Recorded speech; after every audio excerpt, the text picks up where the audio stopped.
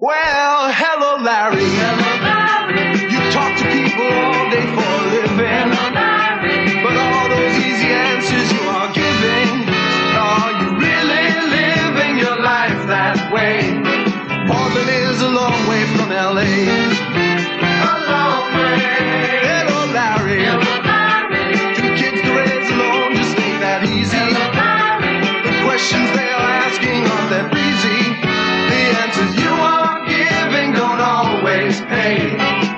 That's the way it is with kids today. You're raising them just fine, but keep an open mind. Cause you never know just what they're gonna say. Hello,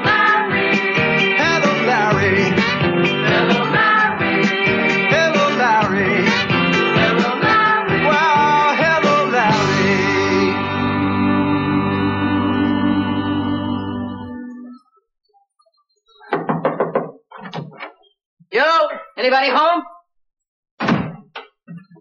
Uh, just me, Tommy. The girls aren't home from school yet. Shaving? No, I'm just foaming at the mouth. How come you shaving in the afternoon? I got a rule. I shave whenever the whiskers come out. Okay, to keep you company? Sure. He likes to be alone when they're in the bathroom.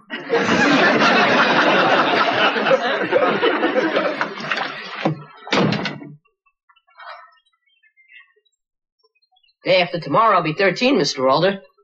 Hey, happy birthday. Growing up, Tommy. Yeah, big one three. That's when you're supposed to shave and stay out all night and run around with girls, drink cheap booze. Right. You know, if you work it right, you can have bags under your eyes and a bad liver before you get out of high school. Yeah, well, Mr. Alder, could Oh, um, sit down. You're welcome. Mr. Alder, can, can I ask you a question? Uh, sure. Uh, just let me finish with the old Adam's apple. I don't want that sucker going up and down while I'm shaving. Well, it's uh, it's kind of serious. Oh, yeah, so is this. Uh, would you hand me a piece of toilet paper, please? Sure. Thank you. Mr. Alder, how old do you have to be before you have your first affair with a woman? Your first affair? Yeah, am I too late? Uh, you're 13? No. I think you got a couple of months yet. uh, Tommy, uh, I mean, you never really know when these things are going to happen. Well, there's a tribe in New Guinea that starts at the age of 10. Uh, well, in some countries it's younger, in some countries it's older. Well, what about Portland? I don't think they have affairs in Portland. And I'd ask my father all this stuff, but I don't know where he is. Yeah, well, uh, I'm glad you came to me. You know, if we could find my father, my mother'd be collecting alimony, and I'd have enough money for a mistress. Yeah, well, uh, I can, um, I can uh, see your problem. Kind of hard to support a mistress on a paper route. yeah, I know you think I'm a debonair man of the world, but the truth is I'm not. Well, that's a shocker. You see, some of the guys at school are giving me the business because I don't have a girl. Hey, you'll have plenty of girls. Well, when? I'm supposed to have a million girls by now. I'm Italian. what, uh, what did you do to get girls? I used uh, corny lines. Like what? I'll take anything. I'm desperate. All right. I'd walk up to a girl and I'd say, uh, "Hiya, sweet cheeks." Sweet cheeks. Yeah. Then I'd hit him with the clincher. I'd say, "Pucker up, lover boy is here." That's not brilliant, but it saves memorizing poetry. Now I'm glad I talked to you, Mr. Alder.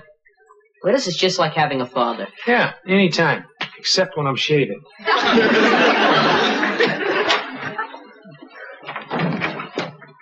Oh, hi, Tommy. Hi, sweet cheeks. What? I said, hi, sweet cheeks. Pucker up. Lover boy is here. Tommy Rossini, what's the matter with you? I'm a man now. I'm ready for life. We're not gonna have a short one. Boy, I love a woman with spirit. Come on, Ruthie. Don't you like me? Well, sure I like you, Tommy. But that doesn't mean you can get your crummy lips all over my face.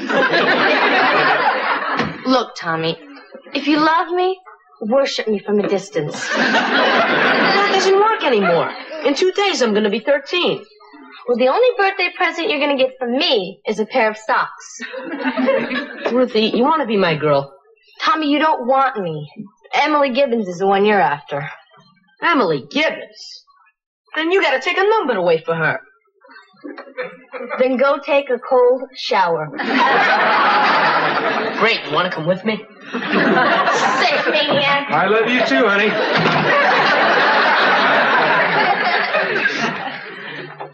Hi, Tommy. Hi, sweet cheeks. What did you say? Kind of gets to you, huh? I said, hi, sweet cheeks. Hucker up. Lover boy is here. You know, I've been waiting for this moment for a long time. Close your eyes, lover boy. Now, this is working better than I thought. Boy,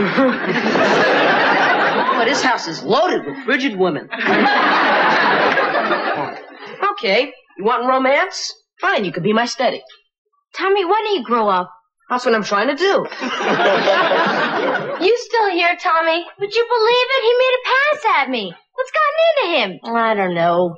I guess when he couldn't have me, he settled for you. No, I wouldn't have either one of you. Well, good. Then get out of here. get lost, Tommy, okay? Yeah, well, who's gonna pay for my broken back? Oh, oh come on. Hey, hey, hey, what's all the noise? Tommy tried to come on to us, Dad. Tommy, is this true? Yeah, I guess so, Mr. Alder. Well, what did he do? He said, Hiya, sweet cheeks. then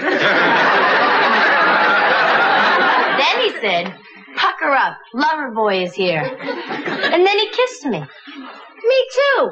I mean, he's not only disgusting, he's corny. Uh, girls, I'd like to talk to Tommy for a minute, okay? Okay, Dad. And you remember, Tommy, we've got a double lock on our door. Oh, Well, I guess I blew that one. Thirteen years old, and I've already been divorced by two women. Yeah, well, I should have warned you, Tommy. There are certain girls you don't try that line on. Which ones? My daughters. Well, I gotta start someplace, Mr. Alder. I mean, all the guys in my class are making fun of me. I'm the only guy who hasn't got a girl. Well, tell them you got a girl, too. But I don't.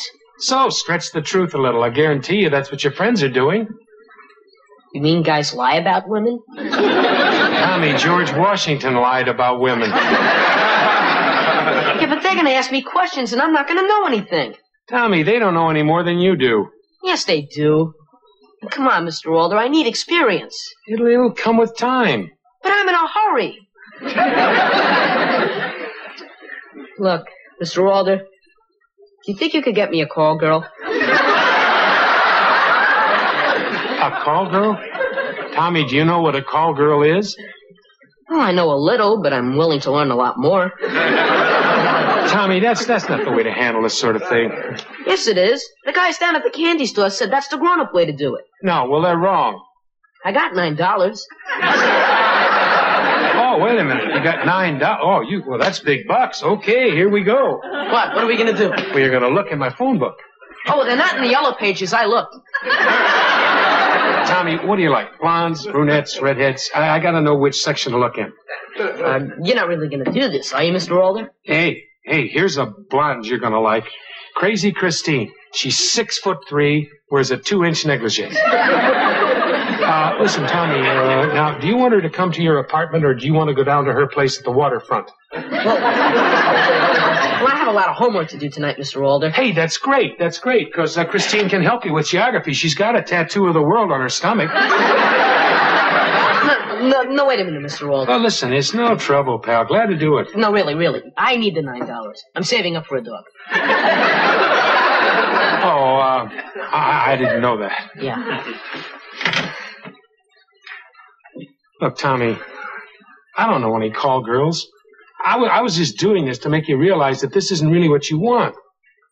What you want is a is a nice girl your own age. Now, isn't there someone your age that you really like?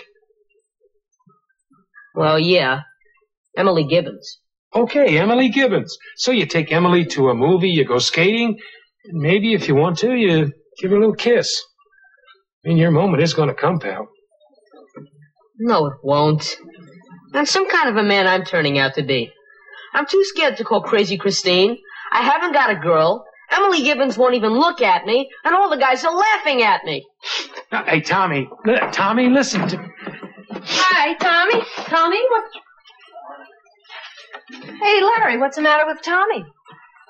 Oh, well, uh, we were having a little uh, man-to-man talk, and I guess it backfired.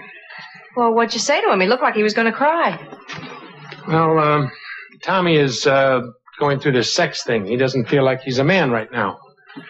So we had a little locker room talk, that's all. a little locker room talk? You make young love sound so beautiful. Look, Morgan, don't get on your high horse with me. That was a figure of speech.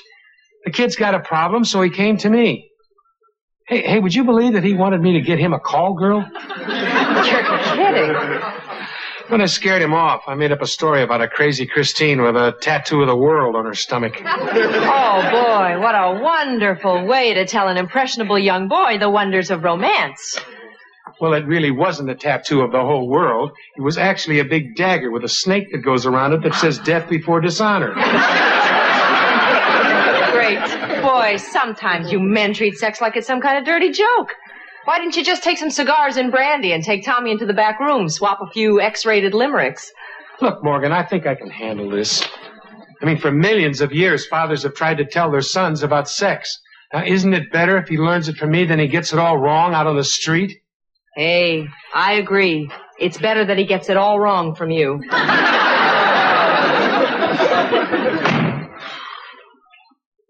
Florence. Uh, is this picture straight?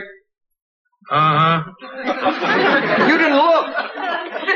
I don't have to, Pop. I know you're one of the best picture straighteners in Portland. Florence, just look at it. It's straight. No, it isn't. Uh. Florence, please. Pop, I got work to do, okay? Well, just look at it once. Is it straight? It's crooked. No, it's not. Served me right for asking.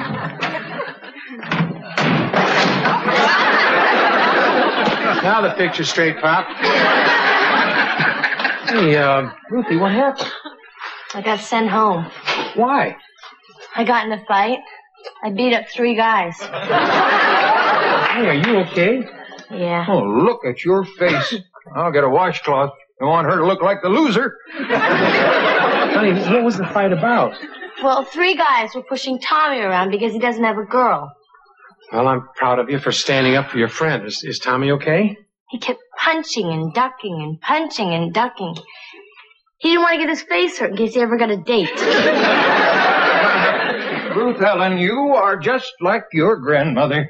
She was a skinny little thing, but she could punch like a mule. I still don't hear too good out of this ear.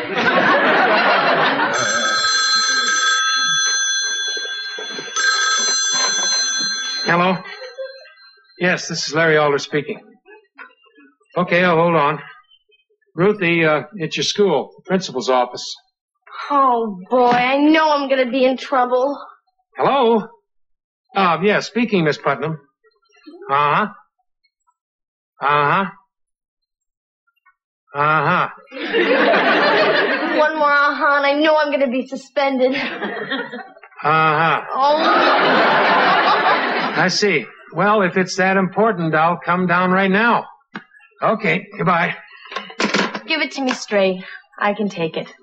Honey, it's not you, it's Tommy. What happened? He's up on a morals charge.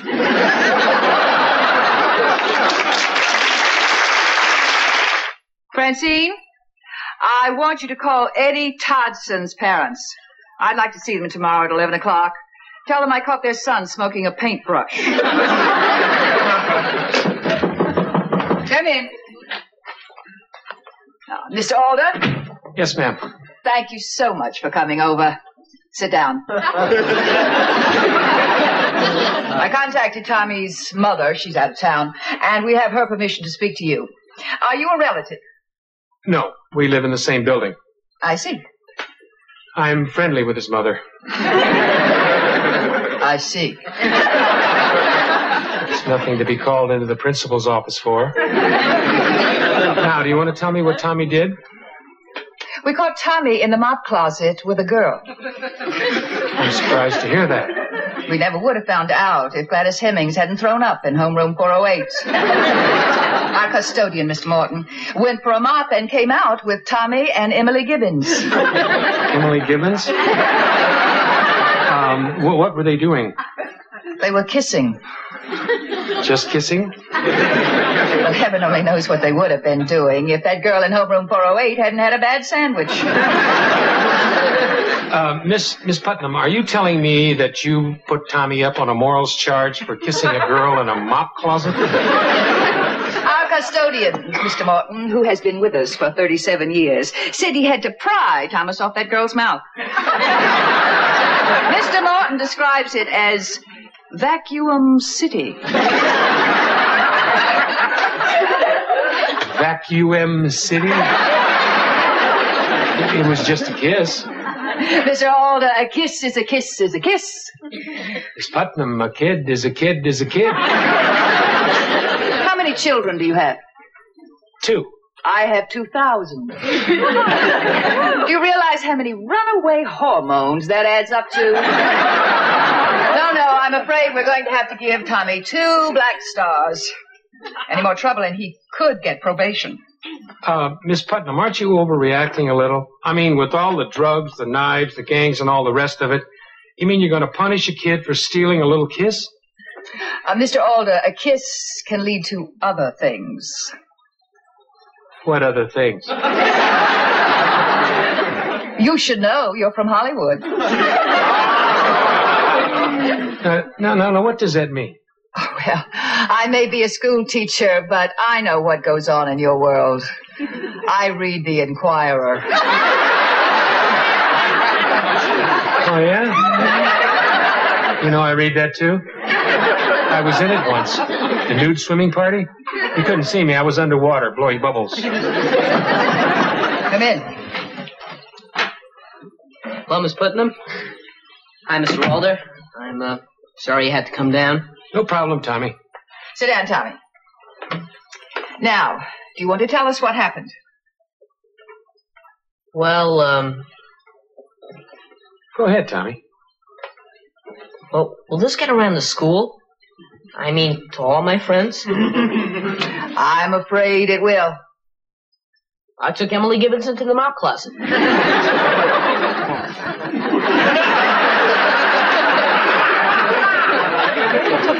And what did you do to her, Tommy? I think I kissed her. You think you kissed her? What was dark in there, Mr. Alder? It could have been the mop. Uh, did you do anything else to the mop? I didn't have time. There was a throw up in 408. You find this amusing, Mr. Alder? Uh, look, Miss Putnam, I am not condoning what Tommy did, but there's nothing abnormal about a boy his age trying to kiss a girl. Mr. Alder, do you know how many teenage pregnancies there are today? Okay, all right, I'll tell you what. Why don't we wait 30 days? If the mop becomes pregnant, I guarantee you Tommy will do the right thing by it. Listen, don't let it out it was a mop. Tommy, are you proud of what you did? Look, um, I know how serious teenage pregnancies are. But I mean, here's a kid that kissed a girl in a mop closet just trying to prove his manhood. Mr. Alder, is that the way you prove your manhood? No, ma'am. I would never take a woman into a mop closet. I'd take her to her place. Wine, little soft music, candlelight, and we'd read the Inquirer together. That's the end of our conversation, Mr. Alden. I am putting down two black stars. For me or the kid? Come on, Tom. Ruthie, is the principal at your school really all that tough? You mean Warden Putnam? She sure is. Oh, poor Tommy. I wonder what kind of moral thing they've got against him. Just being Tommy is enough. Maybe he's had a little too much male advice around here. Don't look at me. I told Lawrence we found him in a cabbage patch. Hi, everybody. Hello, Lawrence. Hi, Larry. Hi. Well, how'd everything come out, Tommy? Uh, hey, let's uh, cool it, okay, guys? Tommy's had a pretty rough day. Yeah, gee, this sex stuff sure isn't what it's cracked up to be. First, Ruthie throws me over the couch, then Diane throws me over the couch. Three guys beat me up, the custodian pulls my ear off, then I get two black stars for being in a closet 30 seconds with a mop. now, if that's sex, then when is the afterglow sitting? Larry, I would like to talk to Tommy alone. Okay, but you better watch him. According to Miss Putnam, he is the new Italian stallion. Tommy, we're going out onto the balcony. We are? We are. Come on. Speaking of Miss Putnam, if I don't finish my term paper, you're going to have another session with her. Finish it. Finish it. Finish it. It's nice out here, isn't it, Tommy? Sit down. No, don't worry, I'm not gonna jump. I didn't think you were. Tommy, we're friends, aren't we? Sure. You're my friend. Ruthie's my friend. Diane's my friend. And that's my problem. All the women I know want to be friends. It's just not natural. I'm ready for bigger things. Well, friendship is the first step, Tommy. You know, you just can't go up to a girl and grab her and kiss her. First, a woman has to get to know you and like you. Why? Because there's a big difference between sex and love, honey. And there's a difference between lust and romance. Can we start with lust? No, you don't start with lust. You start with love. Maybe sooner than you think. You know something. Your girl's going to come along, and you're not going to have to worry about whether or not she's going to kiss you because she's going to want to. Yeah, Mr. Alder told me all that stuff. But when is this great stuff going to start? Well, you can't go searching for it, honey, because it's going to happen when you least expect it. Man, then I gotta lay in a giant supply of mints. Mints? Yeah, I want to be ready when it happens. Well, Tommy, listen. All I'm trying to say is that I don't think you have anything to worry about. You're a woman. Do you think I'm good looking? I'll go you one better than that. I think you're very handsome. You mean it? I mean it. I knew you'd go for me, sweet cheeks. no, just kidding. Thanks, Morgan. You know something. If you were 12 years older and about three feet taller, I might go for you myself. You just made my day. Good.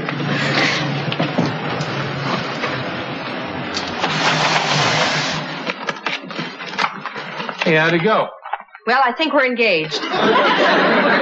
Say, uh, listen, everybody, could I say something, please? Well, how come you're asking? Let the boy talk. Go ahead, Tommy. Well, this is kind of embarrassing, but. Hey, look, I've just been a pain in the neck to this family, and I just want to say I'm sorry. I guess I'm just a dumb kid. I want to thank everybody for being so nice about it, and I love you all very much.